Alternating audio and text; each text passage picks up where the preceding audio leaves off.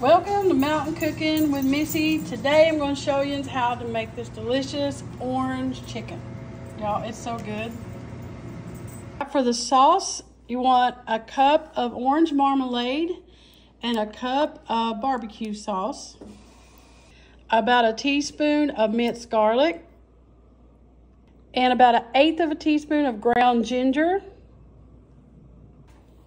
teaspoon of red pepper flakes, and that's totally optional, and two tablespoons of soy sauce. And you just want to stir that together and set it aside.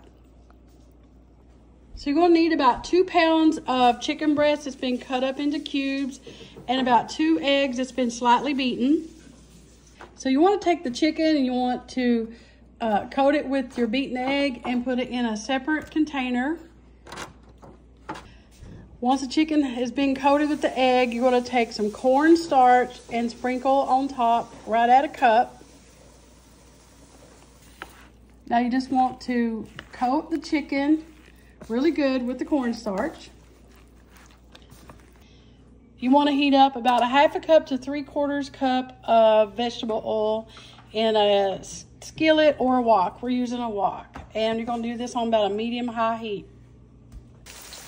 You're going to put your chicken in your hot oil and you're going to start frying it up until it's golden brown.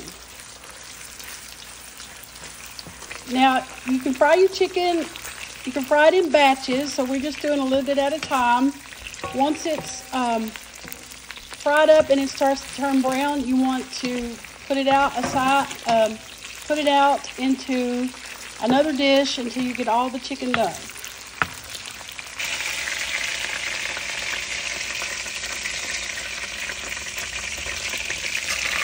Now, once you got the chicken out into a separate pan, you want to remove any excess oil from your uh, skillet or your wok. Then we're going to add the chicken back and put the sauce on.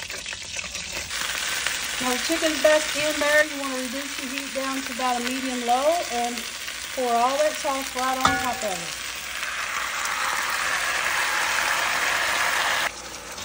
You just want to coat the chicken really well and let it simmer for about another five minutes. And it's going to be so good, y'all. Ready to eat.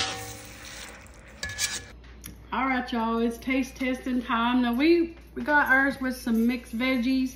This be good over some rice. Brown rice would be good fried brown rice. rice. Oh, fried yeah. rice. Yeah. And uh, you can use sugar-free uh, barbecue sauce, sugar-free marmalade if you want to cut down on the sugar with this. Yeah. And uh, Let's give which we shot. did. We did. All right, take a bite. Thank I you, Lord, for this food. Mhm. Amen. I love orange chicken, so. Mm-hmm. Mm-mm. Perfect. Taste the orange in there just right. The barbecue sauce. Yeah. Mm-hmm. Yeah, I'm happy. It was good. mm. Mm, it was good. Some of veggies. Wow, that's good. I like putting some of the sauce on the veggies too, so. I do. I'm going to mix mine here in a minute with it. So we hope y'all make this. Let us know, y'all.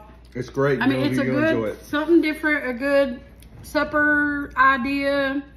I mean, you get tired of same old, same old. Sometimes we do. But, I mean, I love country grub, but sometimes I like something different. So, Yeah. there you go. a- Something different, which is really easy. Pretty much Just- do it all. Just enough much. red peppers. Oh, yeah. Red pepper flakes, totally optional. If you don't like something spicy, you can leave that out. But Yeah. we like it with just a little bit of kick to it. Just a little. The It's so good. good.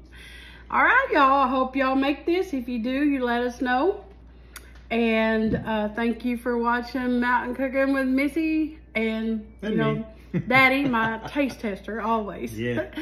Where it's nothing fancy, Ah, just, just good, good eating. eating. Bye, Bye, guys. guys.